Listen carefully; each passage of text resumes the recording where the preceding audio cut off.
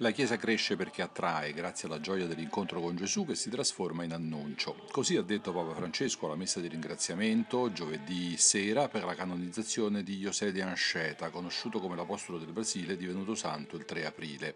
L'Eucaristia è stata celebrata nella chiesa di Sant'Ignazio di Loyola a Roma. Nato nel 1534 nelle Isole Canarie, De Anchieta è stato il sacerdote gesuita protagonista dell'annuncio del Vangelo tra gli indios del Brasile. Considerato anche il fondatore delle città di San Paolo e Rio de Janeiro, De Anchieta pubblicò non solo la prima grammatica in tupì, la lingua di una tribù locale, ma anche preghiere e canti. Alla celebrazione erano presenti nove cardinali, una trentina di sacerdoti, tanti sacerdoti e fedeli, per lo più brasiliani.